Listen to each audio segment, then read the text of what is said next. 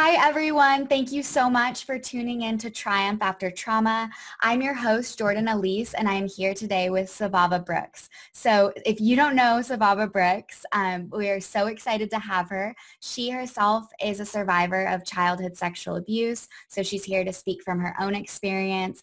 But importantly to you guys, she's an incredible advocate for our community. Um, she's a co-founder of a nationwide program in Iceland that is for sexual um, childhood sexual abuse prevention and education. It's it's seen incredible success rates. So Svava, I can't wait to dive into that with you. In addition, she's a certified instructor and facilitator um, of darkness to light for stewards of children. She's a certified TRE provider. And for those of you listening, TRE um, means tension and trauma release exercises. And she's an abuse coach um, and more. So Svava, thank you so much for being here with us. Thank you, Jordan. I'm just excited to be here with you. Thank you. Yeah, absolutely. And so today we are here to talk about living from the heart and not the hurt. So as a survivor myself, and you can speak to your experiences, it can be so easy, not easy, but, but so um, autopilot to really live in a place coming from our trauma and coming from our hurt. And so you're here today to talk about ways that we can really shift back into living from the heart.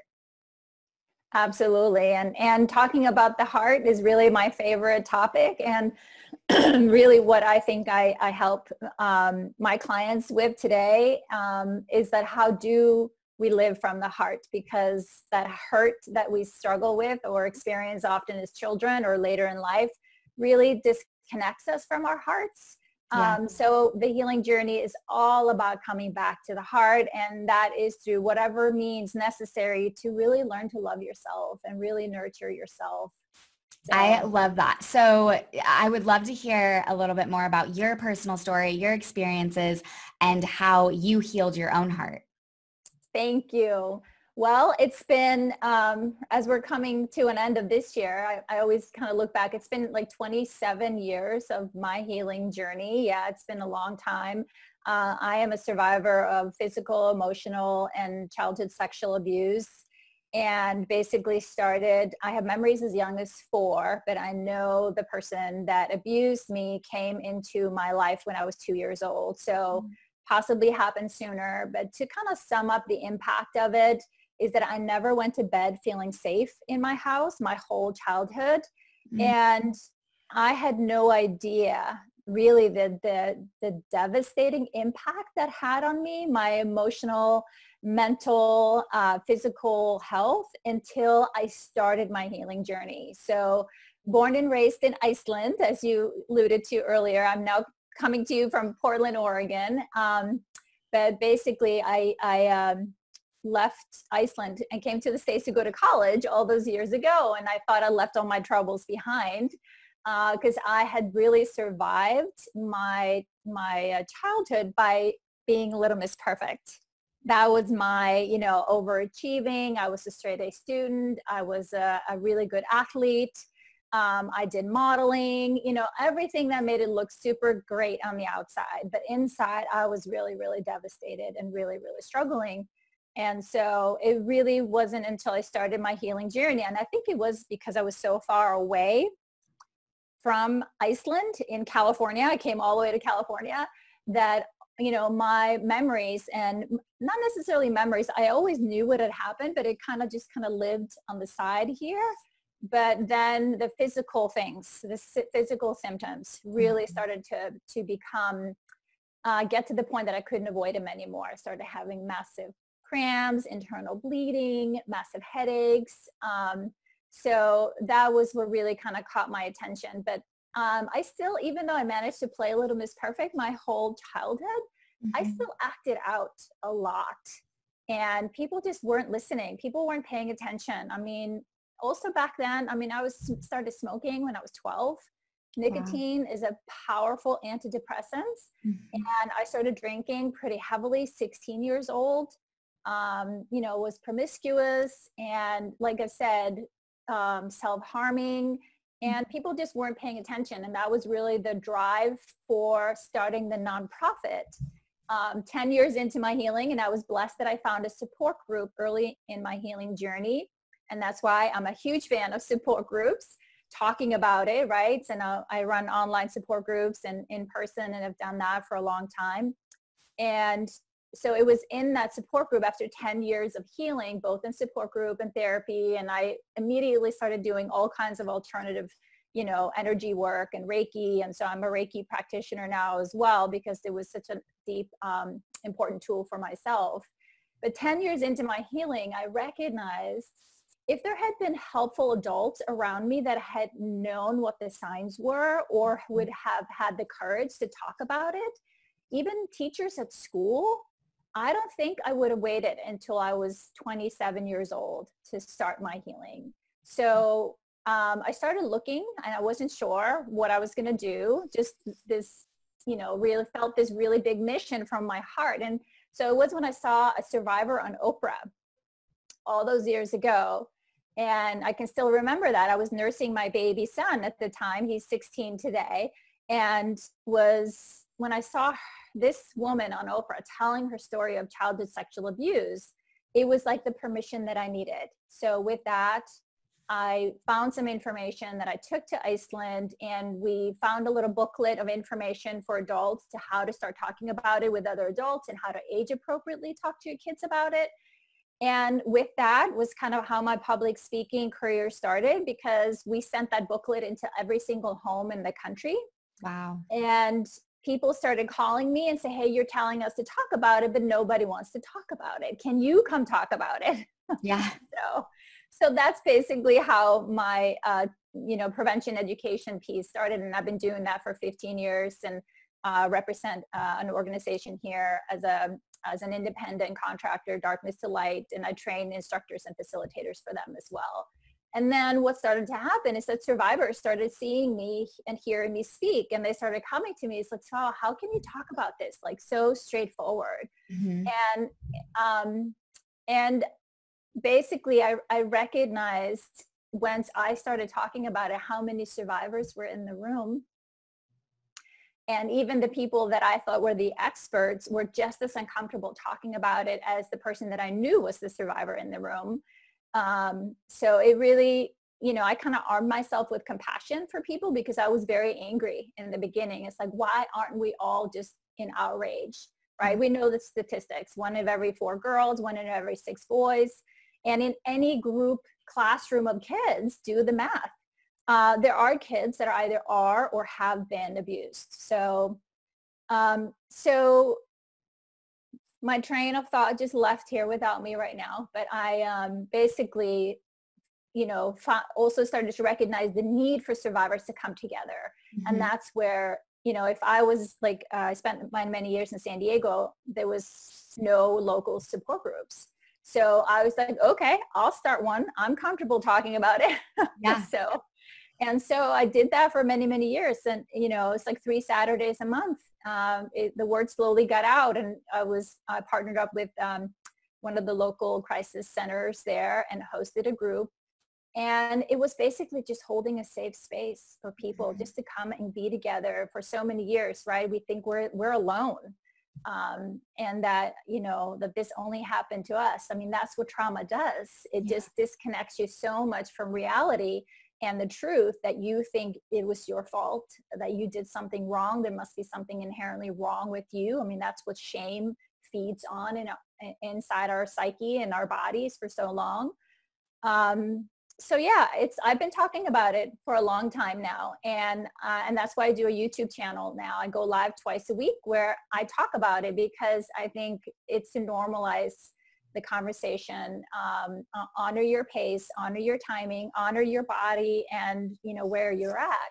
But whatever you can do to surround yourself with people that are talking about it. And yes, talking about the past, the hurt, but talk about how do we reconnect with our hearts because that's really ultimately where our authentic self lives and that's one of mm-hmm. my workbooks that I've that I've written and support my readers online with um, every week. Yeah. To come back to the truth of who we are is that you are and just you here jordan a beautiful spark of light that's on a mission to get a very important message out to a lot of people. So I'm going to pause here for a second. I'll, I'll get off my soapbox, but I want to celebrate you because you're going to help countless people. So thank you. Thank you so much. And for all of you listening out there, if you feel like you have an inner knowing that you're meant to share your story or you're meant to use your, your voice to, to speak out about your own experience to help others, it really does make an impact. And so, Svava, I love how you focus on the support group element and the community a- aspect of it because that all ties into that education and prevention that you're that you're doing. So um, thank you for your work first and foremost. Um, I would love for you to share a little bit about the, the statistics about how effective your Straight Talk program has been in Iceland.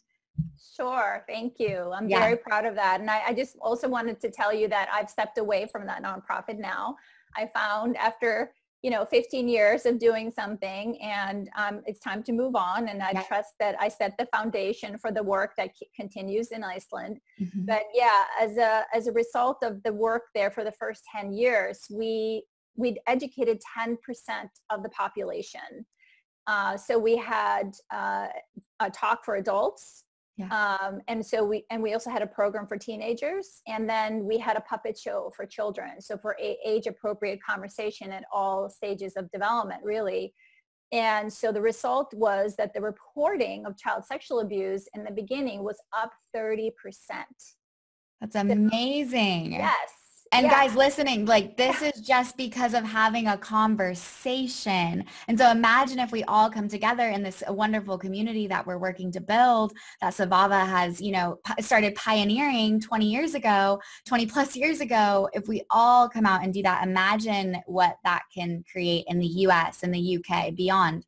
I, I just think that's so incredible. Yeah, and and and thank you for bringing uh, some attention to that because you know I do get e- emails from a lot of survivors like I want to do something. What do I do? So if, if that's you, someone listening to this, I'm, I'm happy to, to give you some, some feedback on what are some things that you can do. You don't have to be a PhD expert, right? Uh, you, you know enough. And if you have the heart and the passion and the drive, mm-hmm. um, then there is absolutely space for you and we need you, right? We need you. And actually, uh, I just, um, my oldest daughter is 26 and she actually became a facilitator this past year. So instead of passing down trauma in my family, I've actually passed down advocacy and trauma-informed family conversation. And now she's standing out there as a mom of someone that was traumatized. And because of my trauma, she's had to do some healing because that tension in my body shows up in her body today. Mm-hmm. Um, so she's doing her own work, but also is feels very empowered to be a part of um, changing the legacy of, you know, for so many of us, trauma is multi-generational. It didn't just start with us. So yeah. So what what advice would you give to to people listening in right now that are one looking to break that intergenerational trauma, really break the cycle, and then two, like where do they start for the, the healing of their heart? You know, that's central to what you do and central to your mission. So I'd like to dive a bit deeper into that. Sure. And and I'm so glad that you are making that point because that is one of the hardest things that we do as survivors, right? If you're going to be out there speaking about it, mm-hmm. we really need to take really, really, really good care of ourselves. Um, and for so many of us, we have survived by being kind of, we focus outwards, we make other people happy, we take care of other people, we make every, make sure everybody else is okay but at our own expense. Like we're usually the last one on our own list. But today I live with I'm like the top two, three, four items on my to-do list is me. Right. So just mm-hmm. coming out of just waking up, right? This is how I every day live from the heart and not my hurt. Even just waking up, I put my hand on my heart. And that's one of the tips that I share in my free gift with everybody is that just placing your hand on your heart for a few minutes. And for some of us, it's uncomfortable. If we are, if we, love isn't safe, if love doesn't feel comfortable, this may not feel comfortable. Mm-hmm. And then I give myself a few deep breaths just to allow myself to really pull in. right? And release and relax. And it's that exhale that helps us to relax. Most of us don't breathe past our chest at mm-hmm. all. And then I remind myself, you know, hey, sweet body, I'm here, I'm here, I'm here. Because this body was neglected and mm-hmm. hated for a long time. Mm-hmm. Most of my abuse, I left my body. I floated up in the ceiling. I wasn't even in my body, which is the survival strategy. And I thought I was crazy. I thought people would lock me up if I told them about it. Once I recognized how common that was, but then the journey to come to my body was because I was used to living here, mm-hmm. fighting for life and the hurt every day. I had to go ever so slowly, right? Because we naturally do this to protect ourselves. Your body and your brain is hardwired to protect you. So this gives actually sends, you know, oxytocin, the feel good hormones to your body mm-hmm. that slowly helps your body to relax. And for so many people would tell me, oh, you just need to be nicer to yourself. I'm like, what does that look like? What does that feel like? I didn't know what loving Svava felt like. Yeah.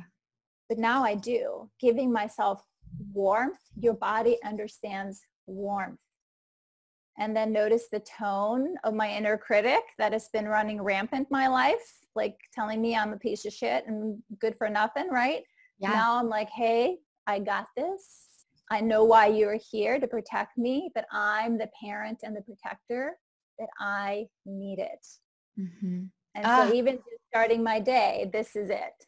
I love that. So what I'm hearing though is it's not just your heart, it's also your body and you need your body to heal because of the trauma stored within it. What so in addition to these exercises, is there anything else that survivors can do to be empowered to to re-embrace their body?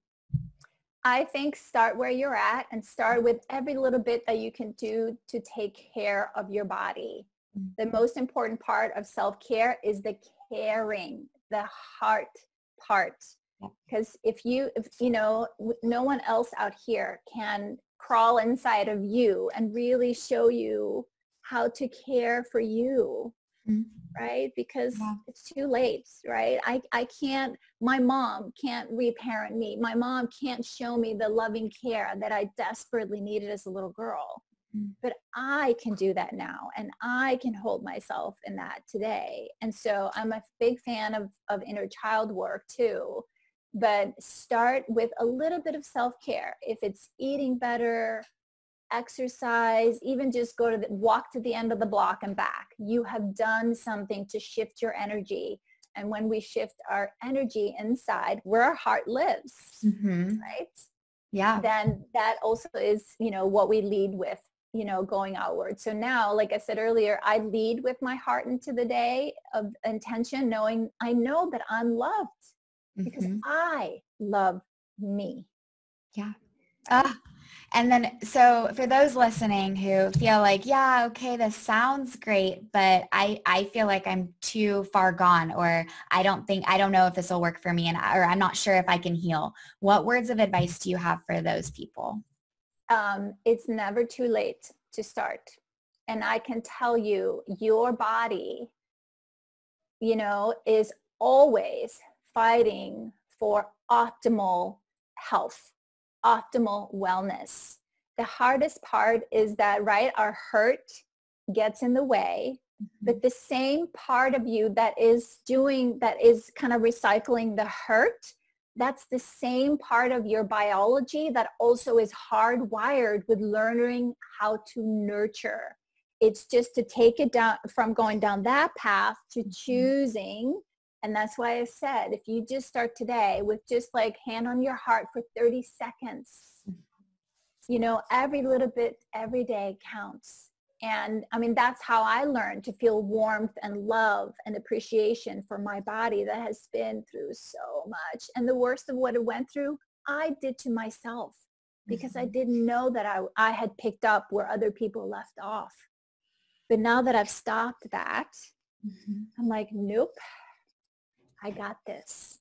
I got this. And it's about really, for me, at least in my journey, it was about taking responsibility for how I was going to treat my body moving forward and not engage in some of those self-harm uh, practices. For me, it was alcohol, drugs, partying, promiscuous, promiscuity or however you say yes. that. Yeah. Yeah. And so, um, and there was so much guilt and shame associated with the kind of self-harm that came after the abuse period and just really learning like, you know, to take accountability and responsibility in a non-blaming, non-shaming, non-guilty way. Exactly. And that's again where support groups are powerful mm-hmm. because we don't know what that looks like, right? Until we see and hear other people do it. Yeah. I had no idea. So support groups, you heal faster. Trauma healing can take between three to five years, maybe even seven years. Mm-hmm. If you're if you consistently hang out with people that are focusing on healing, you know, from this day forward, what are the active steps that I'm taking to to living from my heart to self-care, taking responsibility, not blame, but taking back your power the authority you have over living your own life, right? Choosing your energy, you know, you will heal faster. I've seen it countless times and I've seen it in my own life too. I've experienced it. I went my healing journey literally eight years alone by myself going to therapy. And then finally I reached a point where I felt like I kind of just plateaued and I was like, I need more. Um, I need alternate ways of healing. And so dove into a community of other survivors. And it was just the most beautiful experience. And within six months, literally just six months, I felt like I had, you know, my, my healing was at a point where I it was facilitated so much more quickly than I could have ever anticipated. And it really helped me get over that hump and then also realize the potential that my story could have if I shared it. So in that group, even I was seeing how sharing my story was helping others. And it's so empowering to, to have that community. Yeah, exactly. Because we've, we've, you know, trauma, you just live inside of it and you're living out of it. So you don't know what living from the heart you you may understand it here but you don't know how to really embody it to live out of it right yeah. and that's where you know like this was the first book that i wrote journey to the heart it yeah. was again the the workbook that i was looking for when i realized i had to be the one my morning routine to start with choosing me every yeah. single day i'm starting by choosing me how I'm going to live. Because if I'm not choosing, guess what? Your biology, your nervous system, always in service of survival, will be by default going back to your old ways. Yeah. And our old ways aren't helpful today. They may have helped in the past when you were a child, but they don't today. And they get in the way of us having the loving, connected relationships that we really do want that help us thrive. So, so uh, you can do this. Yes. You already have everything that you need right here, right there. You have the complete package to do though, to do this. Oh my gosh, so many words of wisdom. Um, is there anything else that you'd love to share with the audience before before I offer the, the free, amazing, generous gift that you have for them? Um, I, I think I've covered all of it, but just, you know, one of the things that I think is important for all of us is that when we're looking for support, is that find you know, the person to support you that believes in you. Um, and I know that I hold that space for so many of my clients and the people in my groups because for a long time I didn't believe in me. And I found someone that was like Svava, even when I was at my worst, you know, when I was acting out, um, they still like no matter what you do or say, I still believe in you. I still love you. I'm still committed to this journey find someone that is that committed to your healing. And you'll know it in your heart of hearts when you find that person or that community or tribe or circle, right? Yeah. But give yourself that gift. If there is a doubt, you know, sometimes belonging is hard for us because we will we will push on that right? Toxic if we, we want to lone wolf it. It's a protection thing. It's a defense thing. Yeah. It is. It is. But do yourself um, that favor of you know, be willing. And I say willingness is courage undercover. So I love that. Just start with, okay, I may not know how this is going to play out and I'm scared, right, to whatever. But I'm, I'm willing to consider. I'm willing to lean into this a little bit and see where it takes me. So with that, and I, I would, I celebrate anybody that chooses that journey. It is hard, but you can do it and it is worth it. Yes, and Svava and I are both here as we both create space for our clients. There are countless of other individuals um, that serve as abuse survivor coaches as well. And so I promise you there are others out there that are more than willing and eager and excited to support you in this journey. Um, so with that said, Svava, thank you so much for, for being here. You also are so generous. You're providing the audience with a free guide to self-compassion. Um, and this is a daily guide that helps you really nurture that living from the heart that we've been talking about. Um, and so in addition to talking about like the three elements of self-compassion, it also dives into what self-compassion looks and feels like for those of you who are just getting started on this journey of self-compassion. And then for those of you that are already practicing self-compassion, amazing. But this guide also gives you an at-home exercise to, to take you deeper into that journey and a guided by Svava herself um, to elevate your practice. So it's a really incredible resource. Thank you so much for providing it, especially for this audience. And I encourage everyone to take full advantage and download, um, download below and, and sign up. So thank you, Svava, for your time and your heart and your, your willingness to share um, with this community. Thank you so much for having me. I really appreciate it. And I really appreciate what you're doing because you have no idea how many people's lives you're going to impact and change. So thank you. I really appreciate it. Okay. Bye, everyone. I look forward to seeing all of you tomorrow.